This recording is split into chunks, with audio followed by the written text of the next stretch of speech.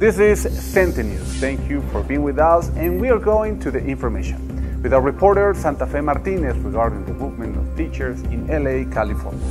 In the track of the agenda of SNTE Global, the national leader of scholars, Professor Alfonso Cepeda Salas, received in Washington the appointment as member of the executive board of the International Education, a federation that brings together more than 32 million teachers and support staff in schools.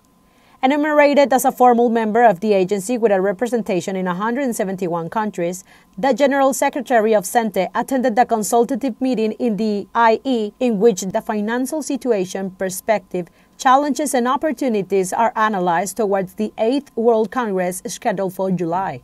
He also held a private meeting with the General Secretary of International Education, David Edwards, with whom he agreed a program of common activities, including the presentation of the report of the International Labour Organization on the future of work, with reason for the celebration of the centenary of this tripartite body, governments, work, and businessmen.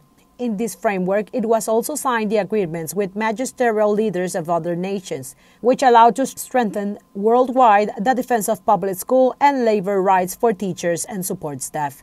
Santa Fe Martinez, SNTE News.